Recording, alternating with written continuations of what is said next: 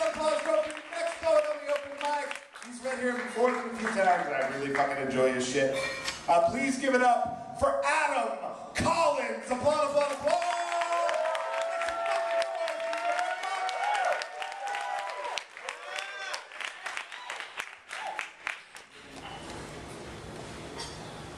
And the man said, The woman whom thou gavest to be with me, she gave me of the tree, and I did eat.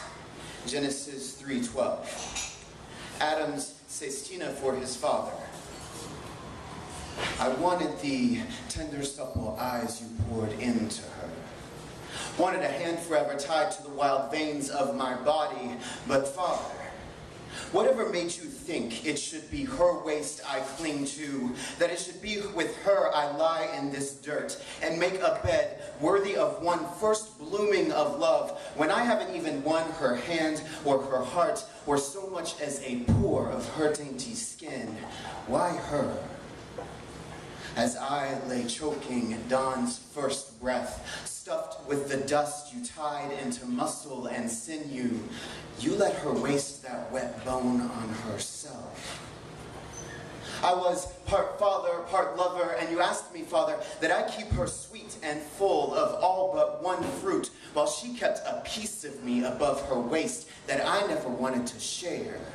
That I pour milk and honey over her skin and keep tied a crown of lilies for her head. Did you lie about this mule-minded woman who was to lay herself out for me? Why not give her, Father, parts like my own, interchangeable, not tie myself inside of her? She already has one bone. I want to give the other to some poor soul with flesh as thick as mine, someone with a full waist and rib cage, someone who has not wasted the eyes given them.